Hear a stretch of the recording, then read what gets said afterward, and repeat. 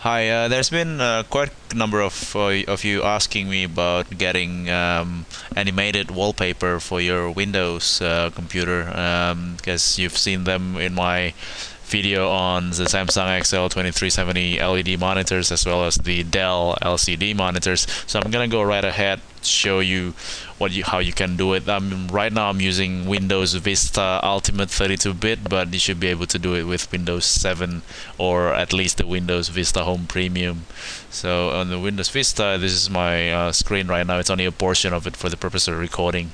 You're not seeing my entire screen, but you can right-click anywhere on the um, uh, on the screen itself. There's a personalize option there. Click there. Desktop background. Click there. You can see that right now I'm using black solid color. If I change the color it gives you the preview straight away off the right off the bat. And then there are some other options. There uh, one being um, sample videos. So you can actually use videos with your background which I found pretty cool.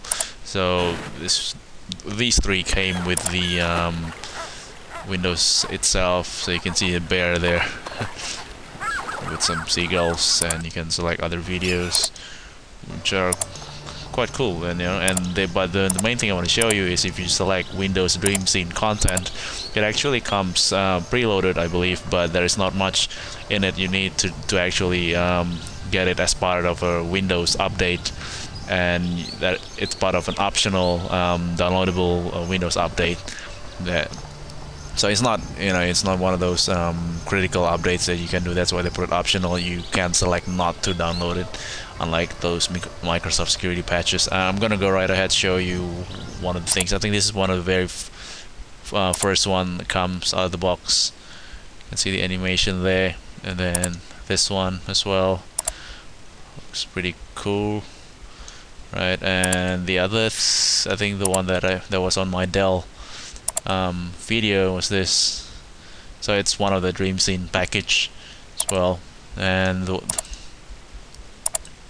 there's another one that um, yeah uh, that's pretty cool. And this is the one that um, was on my Samsung XL2370 unboxing. And for Windows XP by the way the you can do it as well uh, just right click anywhere on the desktop to set your background uh, but you gotta find yourself animated GIF um, wallpaper. I've done it myself, so you know the the GIF GIF uh, format allows you to to have animated picture that you can download anywhere on the web. Pretty much, if it is an animated GIF, you can use it as a background, and you'll see it animates in a loop and with this one Windows XP I mean sorry Windows Vista and Windows 7 takes it to the next level in the sense that Microsoft actually provides you with videos and this DreamScene content which makes it really cool.